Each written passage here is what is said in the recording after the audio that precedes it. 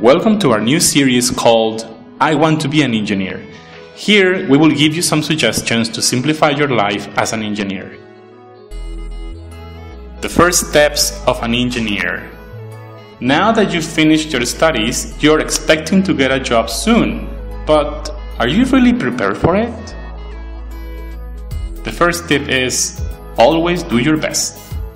When you start a job, you have a lot of fresh ideas, things to do. You want to change the world, but usually the first task that they will ask you to do will be something small, so basic that maybe it doesn't even spark your motivation. Then, let's put that differently. Always do your best even if your task looks irrelevant.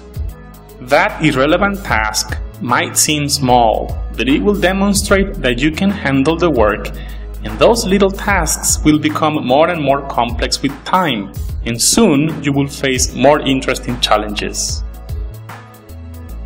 The second tip is demonstrate the ability to get things done.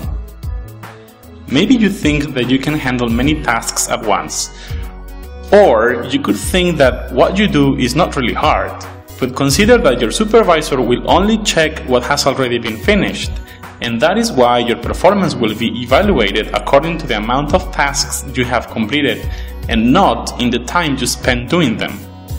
If your task is long, try to split it in smaller tasks. For the third tip, don't wait passively for anyone to make good on their delivery promises. Regarding deadlines, you might trust the person responsible for the completion of the task but bear in mind that people can forget important dates for many different reasons, and if you don't do anything, you will be freaking out when the day comes. You can remind them about the task and the deadline to be sure that everything will be ready in time. But don't overdo it. No one likes stalkers. For the fourth tip, confirm your instructions and the other person's commitments in writing. As we have said earlier, people sometimes forget, and the consequences are terrible. Having your commitments in writing works as a reminder and also as proof of what they ask you to do. That's all for now. We'll see you in the next episode of I Want to Be an Engineer.